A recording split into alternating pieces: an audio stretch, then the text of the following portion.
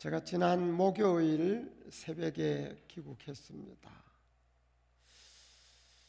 차 안에서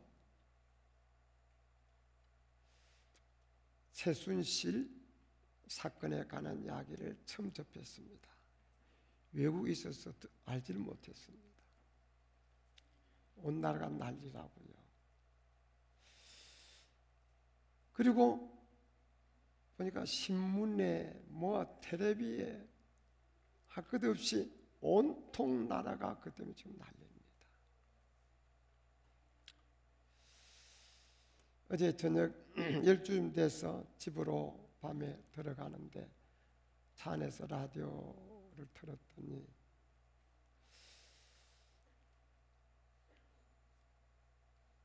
최순실 국정농단 사건에 관한 항의 촛불 집회를 하고 이제 흩어지기 시작한 한 2만 명이 모였다고 하는 이야기를 들었습니다. 온 국민은 일로 인해서 너무 실망하고 너무 마음이 아프죠.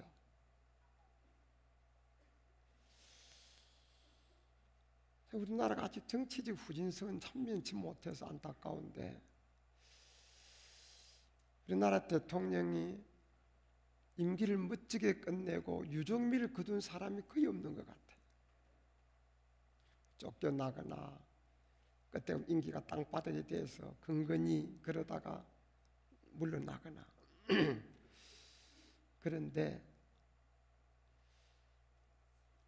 이번에는 안걸줄 알았더니 이번에는 한 줄 더 뜨는 것 같습니다. 전에 대통령들은 가족이나 친인척들이 또 가까운 사람들이 그 직위를 이용해서 어, 횡령하고 착복하고 부정을 저지른 그런 일들이 주를 이루었습니다. 그것도 그래서는 안 되는 일이죠.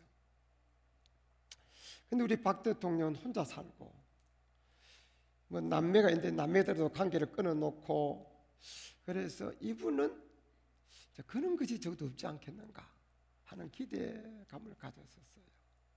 그래도 여자고 하니까. 그런데 전의 경우보다도 훨씬 더 나쁜 결과를 빚게 된 겁니다. 전에는 그저 부정부패 정도였지만 이분은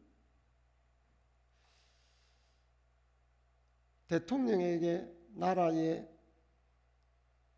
정치를 책임지고 나라를 통치하도록 대통령으로 뽑아줬고 대통령을 보좌에서 그 일을 잘 수행할 수 있도록 헌법적인 기관들이 많이 있습니다. 그런데 이상하게 계속 불통이다 하는 소리가 계속 났지요.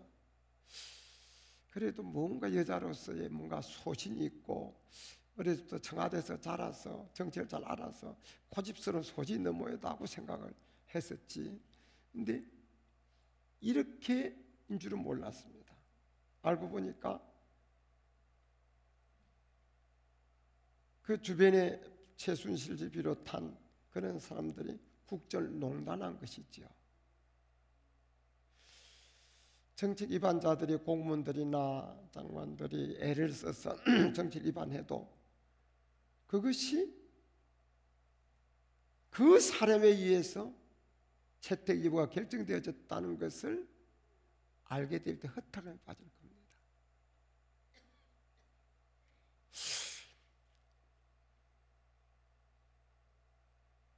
모든 사람들이 세상에 이룰 수가 있는가? 더더구나 우리 기독교적 입장에서는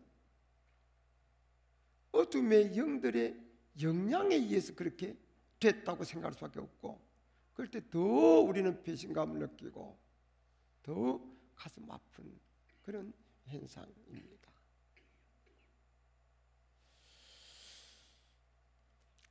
이는 사실들은 계속 지금 밝혀지고 계속 밝힐수록 양파 껍질 벗겨서 계속 밝혀지면서 계속 세상의 원, 세상의 원 이럴 수 있는 이야기들이 계속 나오게 될 겁니다.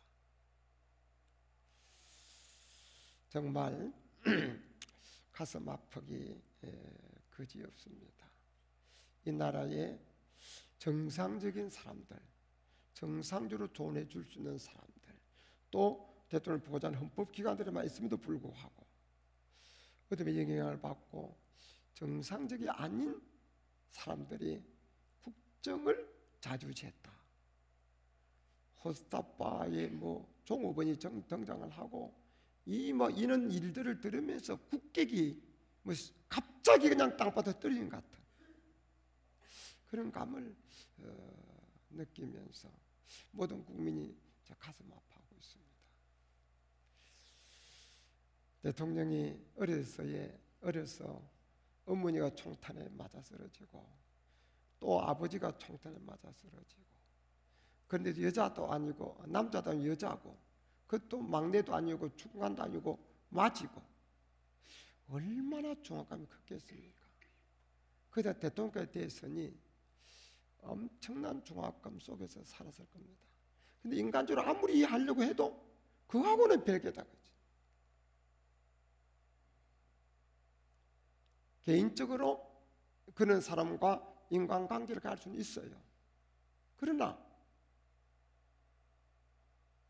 비정상적인 사람들, 영적으로도 우리 입장에서 볼 때 잘못된 사람들에 의해서 나라의 중요한 결정이 되어지고 이랬다고 생각할 때 이 국민이 속은 기분이 이럴 수가 있느냐 이거는 친척 비리 좀 일부 있는 것보다 훨씬 더 국민을 마음을 아프게 합니다. 저도 뭔가 기독교에서 목소리를 내도 크게 반응이 없는 것이 이해가 안 되는 부분이 있었는데 이번 사건 터지고 나서 보면 아 이래서 그랬던 모양이다. 그런 생각이 들 때도 있어요. 더구나 기독교계는 대통령을 기도하고 또 어, 네, 어떤 면에서 협조적인 자세를 보통 갖고 있는데 일반 기독교에서는 그런 기독교 입장에 볼 때 더 배신감을 느낄 수밖에 없는 그런 어, 현실입니다. 그런 사항은 텔레비나 신문에서 저보다도 여러분이 더 많이 보고 많이들 더 잘할 것 같아요. 이제 뭐그 이야기는 그 정도로 하고요. 사실 오늘은 어, 종교계 기념주일이고 또 오늘 오후에 부흥회가 그 시간으로 마지막 끝나는데 그런 저는 말씀 드릴 말씀이 많은데 저 고민하다가 이제 이는 상황 속에서 사람의 소리는 여러분 저보다 더 잘 알겠지만 주님은 어떻게 생각하실까? 주님의 뜻을 한번 알아보자. 그런 마음이 들어서 저는 오늘 본문을 중심으로 예수님의 아픔과 처방이라는 제목으로 은혜 나누려고 합니다. 여러분 본문 다 잘 알잖아요. 한 여인이 가늠한 현장에 잡혔습니다. 하나님 잘 숨긴다고 자부심이 대단한 바리새인과 서기관들이 돌을 들고 예수님께 왔지요. 여인을 끌고 왔습니다. 죽일까요 말까요 돌로 쳐서 모세율법에는 돌로 쳐 죽이도록 되어 있습니다. 선생님 예수님께 지도받으려고 그렇게 왔다기보다도 예수님을 올가 매려고 그렇게 요 상황은 우리도 교회만큼 다닌 사람은 다 잘 압니다. 그러니까 자세한 설명은 생략합니다. 제목을 따라합시다. 예수님의 아픔과 처방. 예수님의 아픔과 처방. 저는 오늘 본문에서 예수님의 아픔을 읽을 수가 있습니다. 몇 가지만 봅니다. 한 가지는요. 세상의 죄악이 관영함으로 인한 예수님의 아픔입니다. 하나님은 죄를 싫어하십니다. 죄는 어둠이에요. 죄는 어둠의 영의 유혹에 의해서 어둠의 영에 의해서 자꾸 범하게 되지는. 하나님께서 모든 죄를 싫어하지만 그 중에서도 음행죄와 교만죄와 우상 숭배죄를 더욱 싫어하십니다. 그런데 가는마다 현장에 영이 잡혔습니다. 그는 음행죄가 만연함을 드러내는 겁니다. 그리고 그 일을 끌고 온 겁니다. 죄를 싫어하시는 하나님께서 그는 죄가 특히 하나님께서 싫어하는 그는 음행죄가 세상에 만연되어 있는 현상을 지금 목도하고 있는 주님이 마음이 몹시 아팠을 것입니다.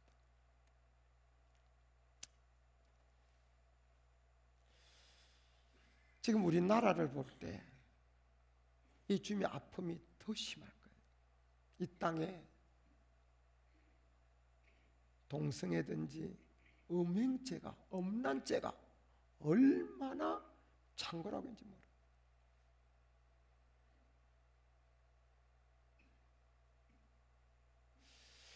동성애자들이 들어가는 사이트를 동성애 전문 연구하는 사람들을 하고 같이 차를 탔다가 그분이 그걸 보여준 걸 잠시 봤어요.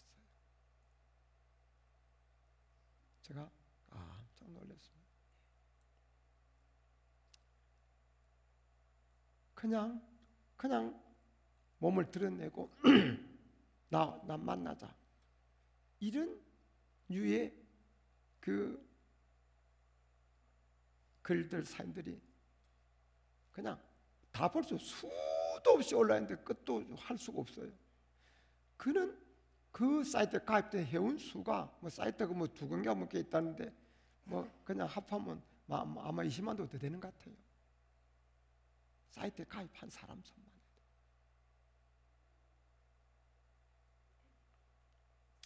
이 땅이 그뿐만 아니라 온갖 부정부패, 거짓 윗선이 얼마나 충만한지 모릅니다. 무슨 사건을 터지면은 거짓말부터 거짓말로 시작해서 거짓말로 도대체 어느 것이 진실인지를 알 수가 없어요. 거짓말도 어느 연구 조사 결과를 보니까 거짓말도 계속 하면은 거짓말이 쉬워지고 늘어지 늘어간대요. 적당히 둘레대고 적당히 거짓말한 것이 온 땅에 만연돼 있습니다. 얼마나 기가 막힌지. 더더나 지금 국정농단 사건은 이 어둠의 영들에 의해서 이렇게 이루어지는 것으로 이제 통탄할입니다. 통탄할입니다. 마귀를 싫어하시고 죄를 싫어하시는 우리 주님께서 얼마나 마음 아프시겠냐.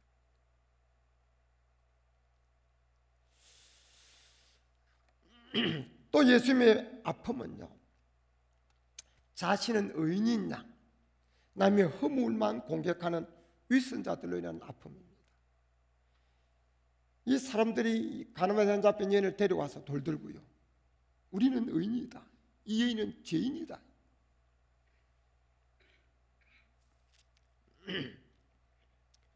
그런데 사람은 모르지만 주님은 속을 꿰뚫어 보잖아요. 주님이 보니까 다 거기서 거기. 거기서 거기.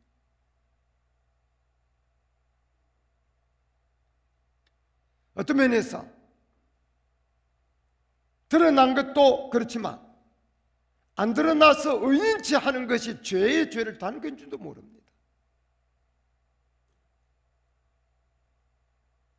그래서 주님께서 너희 중에 죄 없는 자가 먼저 돌로 치라고 말씀하셨다고 생각됩니다.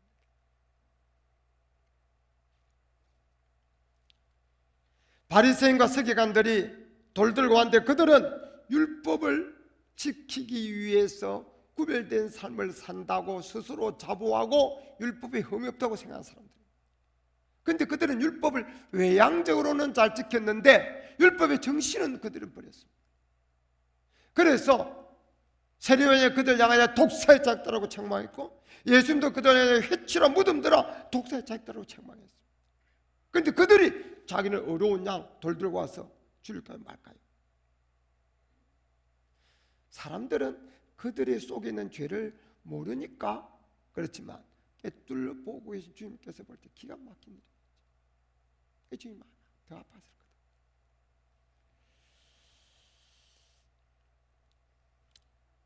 지금도 온통 나라가 난리인데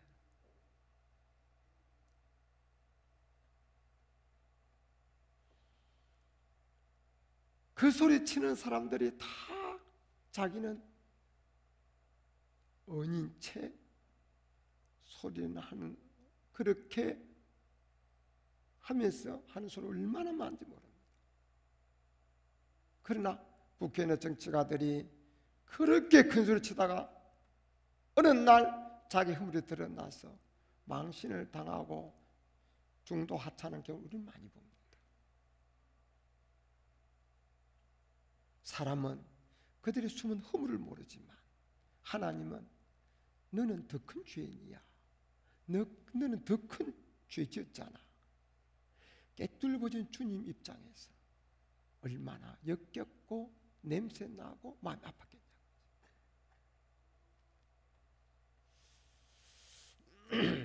또 우리 예수님의 아픔은 그뿐만 아니고 남을 살린 데는 관심이 없고 죽이는 데만 관심이 있음으로 인한 아픔일 줄로 생각합니다.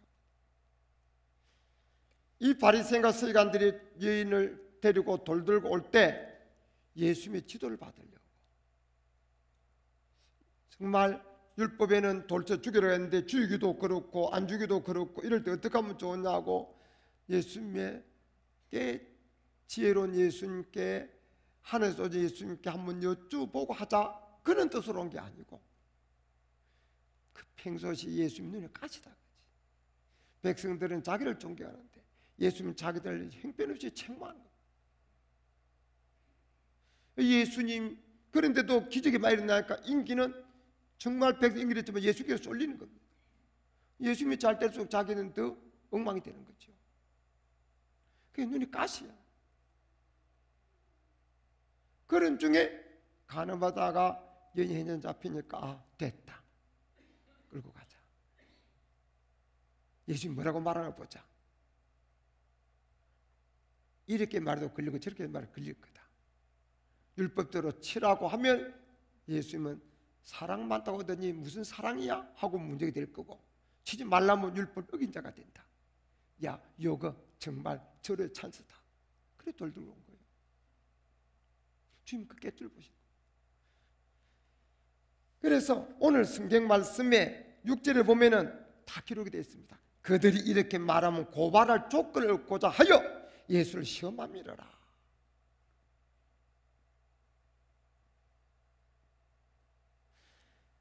율법은 사람을 죽인 데 관심 있는 게 아니고 살린 데 관심 있습니다. 이러면 죄니까 죄를 짓지 말고 살아라. 이렇게 하면 죄니까 그 죄에서 회개하고 고쳐서 살아라. 사람을 살린 데 관심 있습니다. 하나님을 살린 데 관심 있습니다. 그래서 우리가 다 마귀 유혹에 넘어가서 죄를 범했고 진노의 자식이었고 마귀의 자식이었고 어둠의 자식이었습니다. 그런 하나님 우수된 자들이었고 하나님과 불안 자들이었습니다. 하나님을 버리고 귀신 마귀를 쫓았습니다.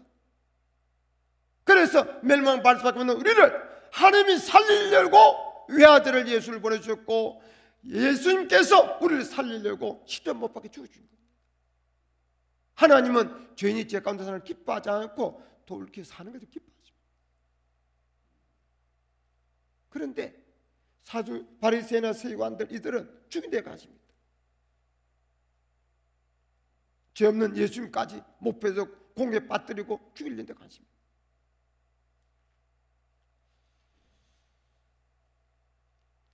지금 우리 나라를 볼 때 참 정치 때문에 우리 국민이 걱정을 하지요. 정당은 정권을 잡기 위한 목적으로 조직된 단체가 정당입니다. 그 정당은 정권을 잡는 것이 목표입니다. 그렇지만 여야가 서로 생각이 다르니까 비판을 비판하고 또 잘한 것은 또 서로 인정도 하고 그러면서 방법 없는 찬이 있겠지만은 나라를 위해서 협력도 하고 돕기도 하고 한 비판도 하고 국민이 들어볼 때 아, 들어보니까 이쪽 당 말이 내 마음에 더 든다. 이쪽 당 맡기면 더 잘했구나 하고 표를 찍어줘서 정권을 잡고 이렇게 돼야 정치가 더 성숙하게 될 텐데 상대방 당은 잘했다는 소리를 들어본 적 여러분 별 있습니까? 무조건 상대방 당 한 건 잘못했고 우리 당한 거는 무조건 잘했고 나라를 살리는 데 관심보다도 자기 상대방을 죽이고 자기 정권 잡는 데만 관심입니다. 그러니 정치가 후진수를 면치 못하고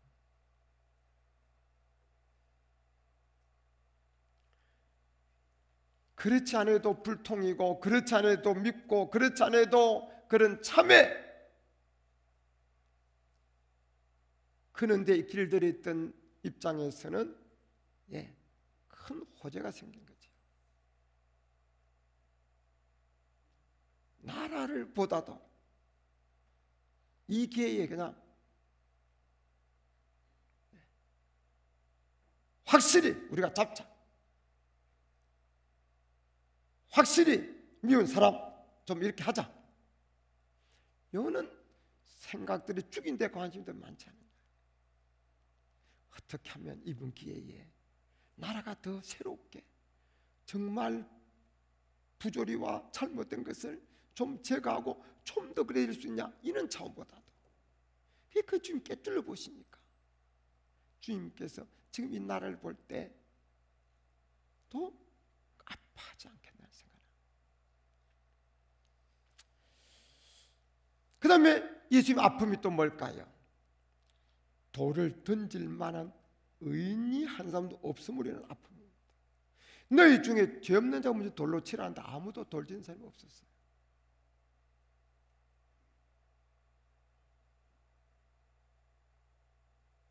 이스라엘 백성이 모압 지역에서 모압의 욕에 넘어갔어. 그들의 잔치에 참여하고 바알볼에 가담하게 됩니다. 하나님이 진노하십니다. 연병이 임하게 됩니다. 그런 분위기 속에서 이스라엘 남자 하나가 모압 여인을 안고 자기 장막에 데려와서 음행을 한다. 그때 우리가 아내들을 비나서 창을 들고 가서 남녀 포기된 남녀를 단창에 찔러 죽여. 인간적으로 말하면은 살인. 근데 성경은 하나님이 그를 인해서 연별 끝이게 만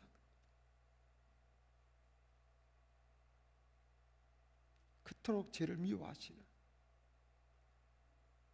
하나님의 그 마음을 그가 알고 그렇게 함으로써 하나님의 마음을 시원하게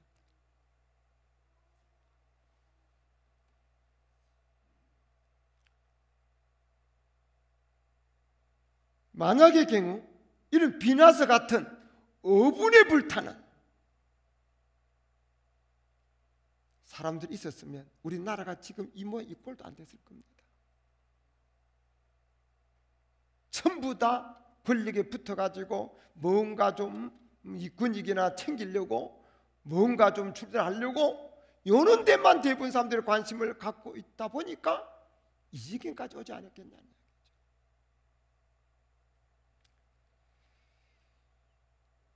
정말 소돔도 의인과 고모라 소돔과 고모라 성에도 의인 열명만 있었으면 멸망당하지 않았을 겁니다.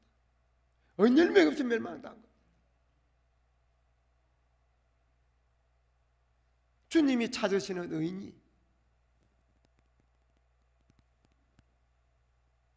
없음으로 인한 아픔이 지금도 주님의 속에 진한 아픔으로 있지 않겠나.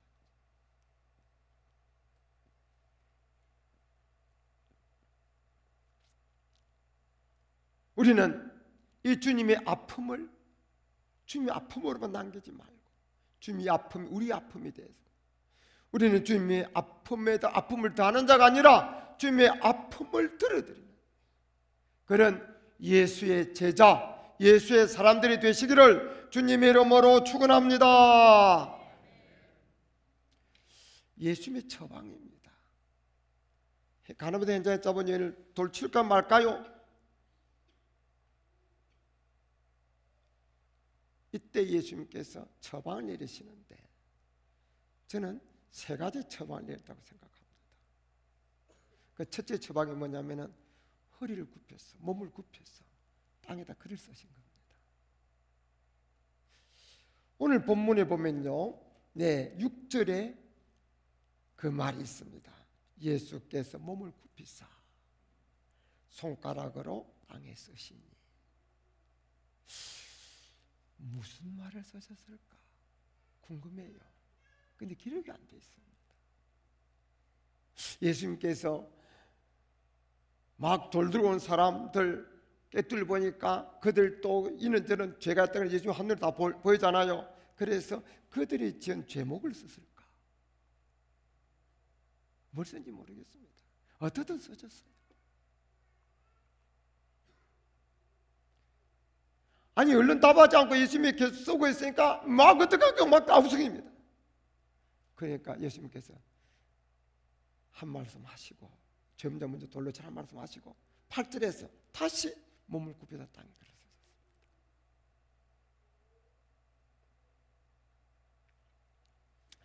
뭘 썼냐는 내용이 중요한 거예요. 그건 알지 못하니까 뭐 우리 말할 수 없고 그게 중요한 게 아니고 저는 예수도 몸을 굽히사 땅에 글을 써줬다는 사실을 저는 처방으로 생각합니다.